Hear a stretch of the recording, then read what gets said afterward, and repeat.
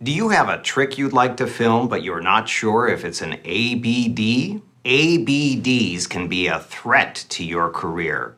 I'm Walter Falstein, licensed attorney of laws.